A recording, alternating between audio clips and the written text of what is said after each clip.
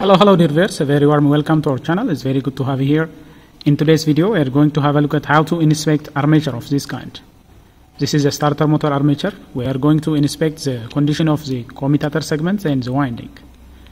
This starter motor armature, it has multiple segments. As you can see, there are different segments and there are electrical wires that are soldered to each commutator segment. Each commutator segment has two windings. One is going this way and the other is on the lower side going in opposite direction. So there are two sets of windings on each commutator segment. All the wires, they are interconnected and they are insulated from each other. So they are not directly connected, but they are only interconnected through the winding. Now, these electrical wires, they are also insulated from the armature iron core. Here we have the iron core. It is a laminated iron piece in order to minimize eddy current. Eddy current is a, a, circling current that is unwanted current that is generated as a result of metal exposure to magnetism. Now, if that eddy current is left unattended, it will make the armature to overheat. In order to prevent that, this iron core is laminated. Laminated means it is made up of a stack of uh, small iron sheets that are stacked together. So that way we can increase the resistance for the eddy current and reduce the chance of overheating of the armature winding. Now there are three tests that we can conduct on this armature. One is called the 180 degree test. We will be measuring the commutator segment at 180 degree apart. That is one test. The other test is a bar to bar test. We will be checking the continuity between the neighboring commutator segments and finally, we will be checking bar to ground. That is called the grounding test. So these are the three tests that we are going to conduct. Now, in order to have a good resistance reading, it is best to have this surface somehow smooth.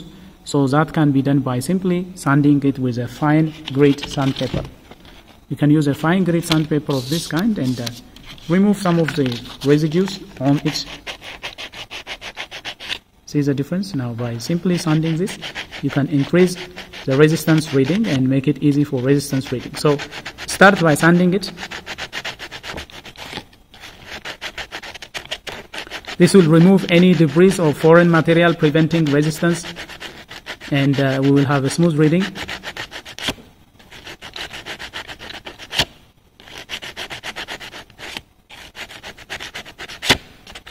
Now this way is a little better than the previous one. You see the, the commutator bars are now a little shiny. That will make resistance measuring easier. It is also a good idea to clean the gap between the commutator segments so that the debris and anything that can be conductive in between can be removed. For that, you can use a hacksaw blade. An old hacksaw blade can be used in order to clean it up.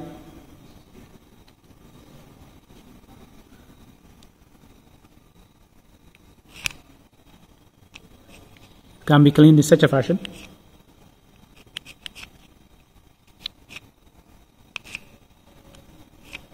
Removing any carbon debris, any debris from previous carbon brush filings can help get accurate reading. So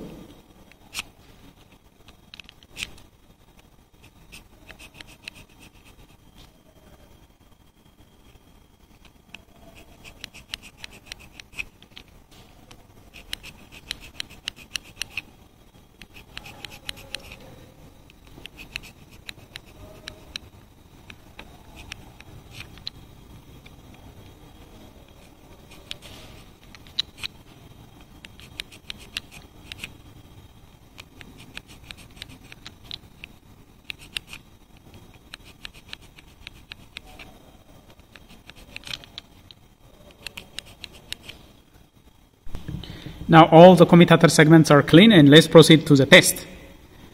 Now there are three tests as we have mentioned earlier. There are three tests. Let's begin by measuring the 180 degree test. The 180 degree test can be done by simply measuring resistance between 180 degree opposite commutator segments.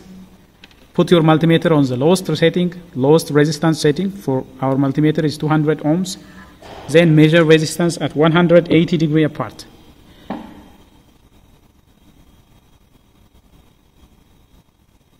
1.6. Rotate it a little.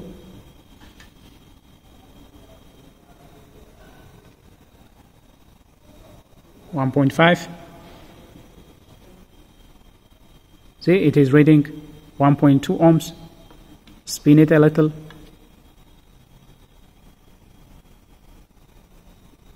One point three.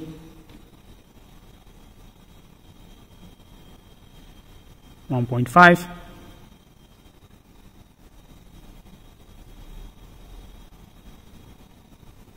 one point one,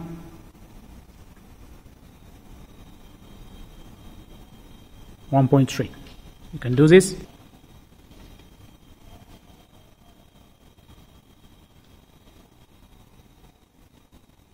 1.2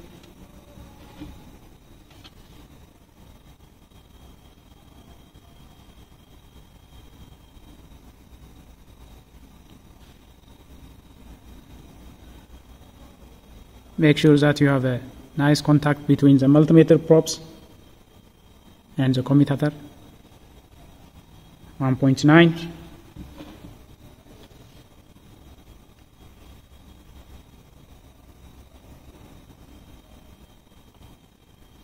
0.7.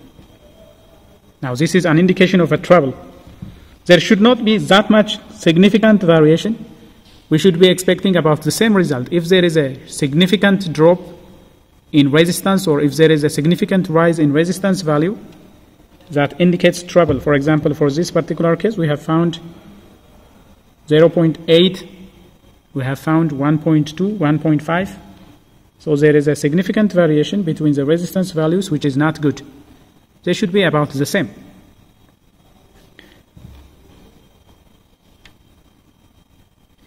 If there is a very sharp drop in resistance value, for example, if it is very sh sharply dropping to zero, it indicates there is a short circuit. If it registers infinity, it indicates a broken wiring, that is an open circuit. See, this is also 0.8 Previously we have found 1.2, 1.3, 1.4. So the 180 degree circuit test for this particular armature is not good. Now let's proceed to the second type of test that is bar to bar test. Bar to bar test will be measuring adjacent adjacent commutator segments. The value really shouldn't be a point of interest. Rather, we will compare the value with each other. So the exact number is not that much interesting. All we are going to do is compare the overall result of the commutator segment bar to bar reading. It should be about the same as well. So do this test for all of the commutator segments. Adjacent commutator segments should have a considerable, considerably they should have a similar reading. So make sure that you are doing this test if you have a doubt, you can also redo the test anytime. So that is how you can do bar to bar test.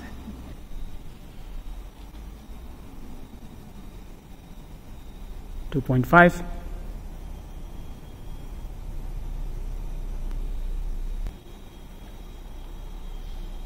One point two.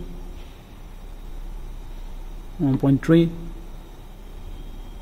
1.4. If there is some uh, unexaggerated variation, it could be due to some dirt or dust particles accumulated over the commutator. You can clean it and uh, anytime re redo the test.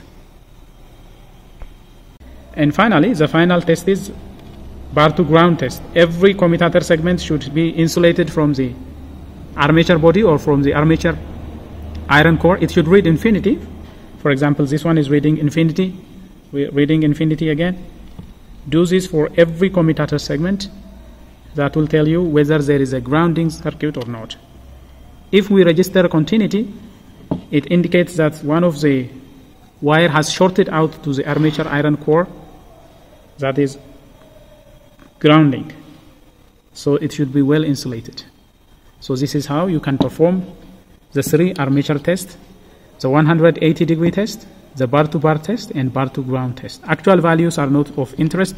Rather, the resistance values that you are going to acquire should be similar. If there is a sudden change, sudden change of resistance, it means there is a problem with the coil. Either the armature, the armature has to be replaced or the winding has to be repaired. If the armature failed any of the tests, then it should either be rewinded or it should be replaced. So this is how you can perform the commutator test. Well, dear viewers, that is all we have for you regarding the tests that you can conduct using a multimeter on an armature, starter motor armature. For that matter, any commutator, commutator armature can be tested in similar fashion. So if you like this video, please smash the like button. If you find this video helpful, share it with friends. If you are new to this channel, don't forget to subscribe, turn on notifications so that you will be the first to get notified whenever we come up with another video. Until then, stay safe.